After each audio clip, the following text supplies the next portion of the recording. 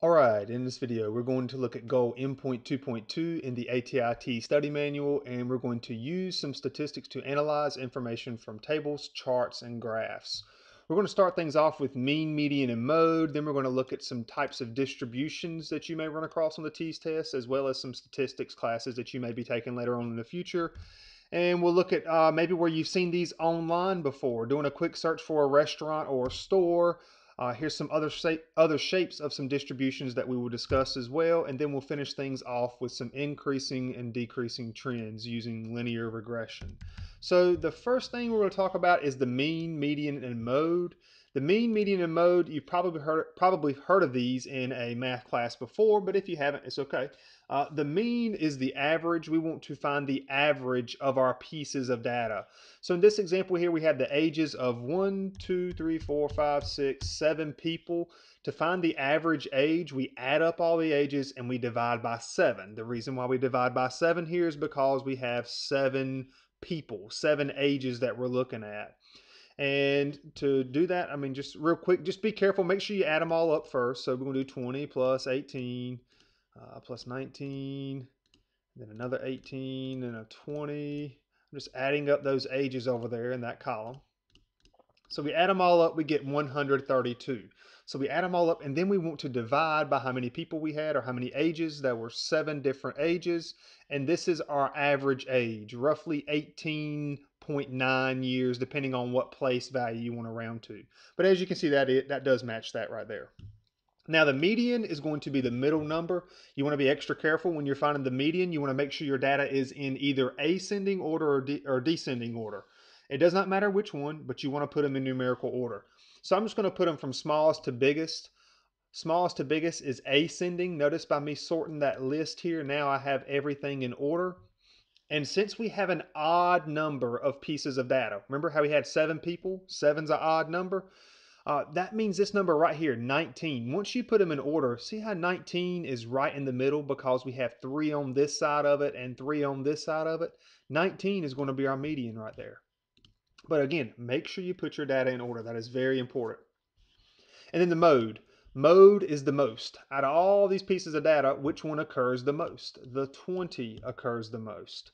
Some things to point out though, now these values are getting ready to change because I'm going to do a little bit of modification to this, but I want you to be careful when you're dealing with mode because sometimes you can have more than one mode. For example, suppose I come in here and I put another age. Suppose, suppose I ask another person, hey, how old are you? And they say, hey, I'm 18. Okay? Now, I'm not really concerned with that value right there anymore because Excel does not compute the mode the same way. But now we have what's called a bimodal. It's bimodal because we have two uh, things that occur the most, the 20 and the 18. Now, bear in mind here, these are our new averages, if you will. Uh, the new average would be 18.75 and the new median would be 18.5. Well, you may wonder, okay, well, how is this median now 18.5? Well, now we have an even number of pieces of data. One, two, three, four, five, six, seven, eight. Remember how I added an extra age in there? Well, now, when you take an, a median, when you want to find the median of some data where you have an even number of pieces of data, what we're going to have to do here is we're going to end up being right in between two numbers. So let me copy this on over here and let's have a look. And since they're already in order, they are in ascending order, right here is where our data is going to be divided in half. We're stuck between 18 and 19. And what you want to do here is you want to take those two numbers, add them together, 18 plus 19, and then you want to divide them by 2. Now, some of you may be like, all right, I already know what this is. It's going to be 18.5. And that's exactly right. Just be extra careful when you're typing this into the calculator to check it. You want to add them together first. So go ahead and get the sum, 37, and then divide it by 2. And notice we do get 18.5. Well, I hope that makes sense, though, because 18.5 is right smack in the middle of both of these data values. That's how you find a median given that your number of pieces of data is an even number. I hope that makes sense. So feel free to pause the video, come in, look at all these. The mean, we just add them all up. But these are, these are shoe sizes, so what are we going to divide by here? Well, 1, 2, 3, 4, 5, 6, 7, 8, 9, 10, 11, 12. There's 12 pieces of data. So add them all up, divide by 12, you should end up with that value right there. The mode is going to be 12 because 12 occurs more than anything else. And then the median here, why is the median 10.5? Well, it looks like we're going to be right in between these two values. Again, because of that same concept. When you have an even number of data points, you'll fall in between two values. Add those two values together, divide it by two, you can get your median like that. So there's a big difference between having an odd number of pieces of data and an even number of pieces of data when it comes to finding the median. And again, don't forget this little formula over here. You always add them together and divide by two. Uh, because like I said, sometimes you may not have two values where it's real quick to sit there and say, oh yeah, well, I know the value in between it. So I wanted to go ahead and throw that out there. Now, switching gears, getting away from mean, median, and mode, you have these other things that pop up in the study guide where they talk about distributions. Okay, so let's just look at this example here. Suppose we have some students in a college algebra classroom. We got 30 students in all, and we want to know how old they are, and we're going to get a frequency. So uh, students that are 17 years old in this college algebra class, there's three of them. That's what that frequency right there is. Just follow along with these little uh, boxes as I, as I move through them. So we got three people that are 17. We got eight people that are 18, 11 people that are 19, and so forth. So the oldest person in the class is 21. The youngest person in the class is 17. Well, look at how this frequency here is. This is a little uh, bar graph, if you will, where 17, remember how we said we had three people that were 17? Well, notice the frequency, if we look at our little chart over here, that the height of that bar is right between 2 and 4, which shows that 3. Uh, the 18 is right up there at 8. So we had 8 people who were 18 years old, as you can see right there. And all of these other ones are the exact same thing as well, or the exact same height in terms of 11 matches this, 6, and 2. Well, look at the shape of this thing. It some people say, well, hey, it looks like a triangle. Well, what we call this is a symmetric distribution, and it has another name too. It's also called a normal distribution. Uh, just the shape does look symmetrical. Symmetrical oftentimes symbolizes what's called a normal distribution. You will notice that if you're looking in your study manual, a symmetric distribution may be one of the first things the study guide talks about. So let's look at another type of shape. This one definitely does not look symmetrical down the middle. This is an example of what we call skewed to the right. So let's let's look at this histogram we have here. And what we're doing here, uh, uh, 73 people were sampled. I'll tell you what, is that, yeah, everything's good there. So 73 people were sampled. And what we have here is we asked them, okay, how much money do you make per year? What's your uh, yearly income? Well, 22 people said they make less than 29,999. That should be less than or equal to, by the way. Um, I tell you what, I got a symbol up here, but for now, just less than or equal to 29,999. Nothing too crazy to be concerned with. That's just me being a little OCD with my math. So 22 people make less than $29,999. 31 people make somewhere between $30,000 and $49,999 and that's like our mode. That we don't know exactly how much these people made, but 31 people made somewhere in this range. And then as you notice as the the incomes go up, the values go down and they go down considerably fast. Notice the shape this thing creates. It creates what's called a skewed distribution and is skewed to the right. So as we go off to the right, it drops off real quick. Whereas when we started off, you know, our first piece up here, we had quite a few people who made, you know, in this little range here, less than or equal to $29,999. It peaks out and then it drops off and it goes down to almost nothing, nobody in, in essence. So a skewed distribution, these are two examples. Well, let's look at some other shapes that we can have on various types of data. I'm going to come back to this right here in a second, but here's some other shapes. Skewed to the right is the one that we see right here. Notice the bar graphs or histograms kind of go down to the right. Uh, skewed left would be a similar shape, but it goes in the opposite direction. Symmetrical, that is this one like we had over here, often referred to as a normal distribution. We have a uniform distribution. That's where basically every single value that we look at, whether it be ages or incomes or anything, they pretty much have, they don't have to be perfectly the same, but it's uh, they all occur around the same number. The frequency is going to be roughly the same for all of them. Bimodal, don't worry about too much about it being bimodal and symmetrical. What I do want to refer to is the fact that it's bimodal. We have two peaks.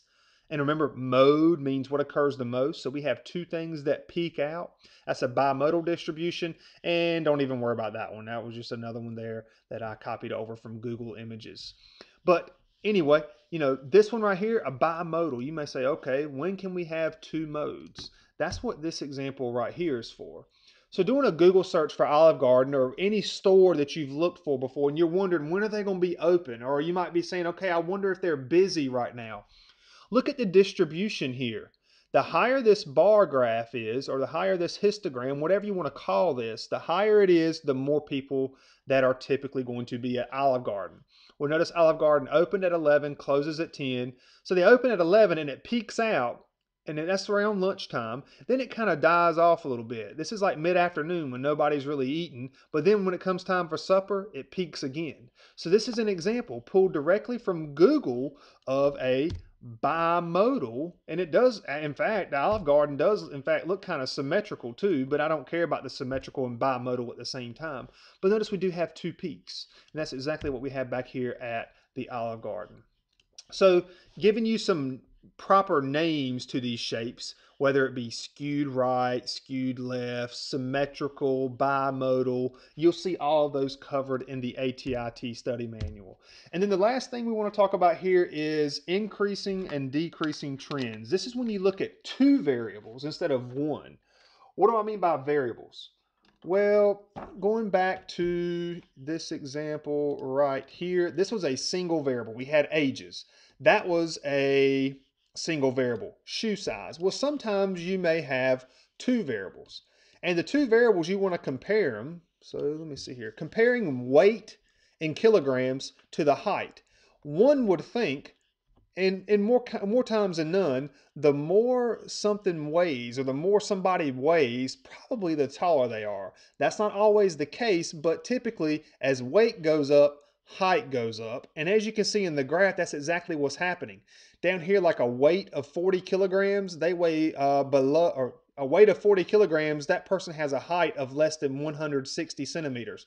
What does this person weigh up here? How much do they weigh? This person right here. They weigh roughly 100 kilograms and about how tall they are or how tall are they? They are somewhere like 190-ish, a little bit more than 190 centimeters uh, reading this graph and making sure you pay attention to your scales. But the point I'm trying to make here is this. As weight goes up, the height goes up in, mo in more times than none. What do, we, what do we call this? We call this a positive uh, correlation or we can call it a positive trend. As one thing goes up, something else goes up, or you could say as one thing goes down, something else goes down. Because as weight goes down, notice the height typically goes down. That's that line of best fit that we have going through there. This can help you predict future values or predict, in this case, weights or heights based on this trend, this correlation that we have between these two variables.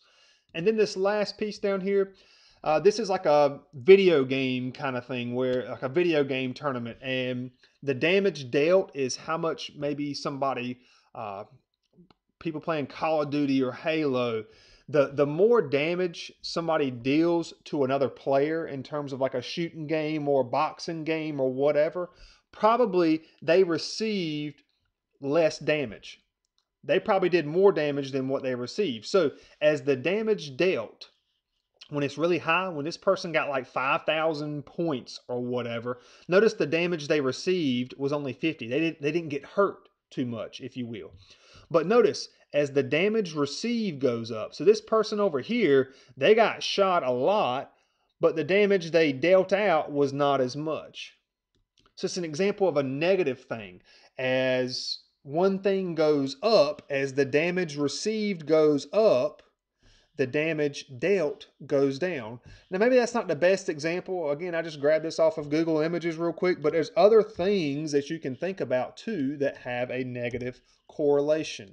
Uh, for example, the heavier a vehicle is, the lower its um, mileage or the lower its gas mileage in miles per gallon. that, that does that make sense? As the weight goes up, the miles per gallon that it gets would go down? Yeah, because it's going to take more gas to actually get that heavier vehicle moving. This is an example of a negative correlation or a negative trend. Um, another example of a negative trend, probably, uh, let's see, the more time you spend watching TV the night before an exam, the lower your grade on the exam will be. That might not be the case, but probably if you if you took enough data and you ask students, "Hey, how much TV did you watch last night before you took your exam?"